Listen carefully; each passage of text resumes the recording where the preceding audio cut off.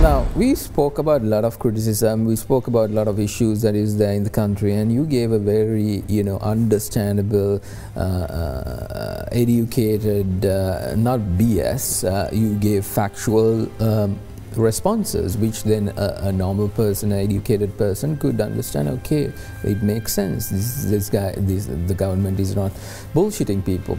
So, why isn't that happening from the government per se?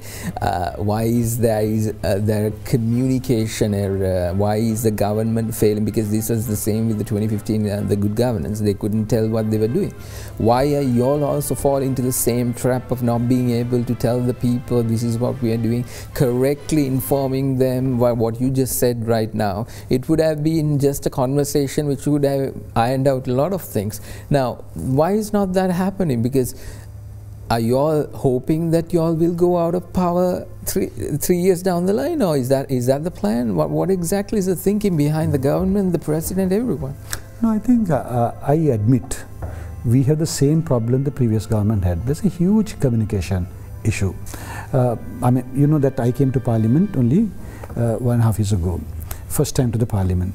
And coming into the political system, I see these communication gaps everywhere. It is the system whatever the party, uh, very little discussion when you take a decision to uh, communicate to everybody, uh, get everybody's views, at least even if you don't take everybody's views, educate them to go and talk to the public. Uh, so this system has to change and we have, we have been voicing this opinion and we have been talking to our leaders, let's change that unless, you, unless we change that. This communication issue will always be there. We are doing a lot of good things but they are misunderstood by the people. Exactly. You'll understand the lack of explanation from the side of the government leaves room for the lie to take precedent because that is what's happening on social media. Even today, I, I, I when I was coming uh, um, in, in, the vehicle, uh, the, the, person who was driving, he, he, told me that there's a new passport which is issued uh, for the port city, which I knew it was a flat out lie, but then this is happening. So why isn't the government taking more steps to uh, address that? I think uh, most of these uh, concerns that you are mentioning right now are coming from social media. Social media is not something that you can control. It creates stories, create gossips.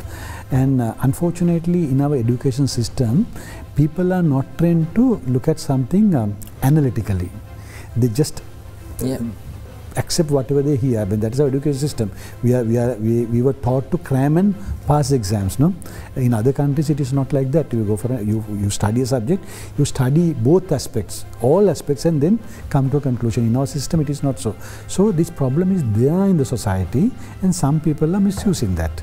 They are feeding wrong information intentionally, knowing that people are gullible and they will bite.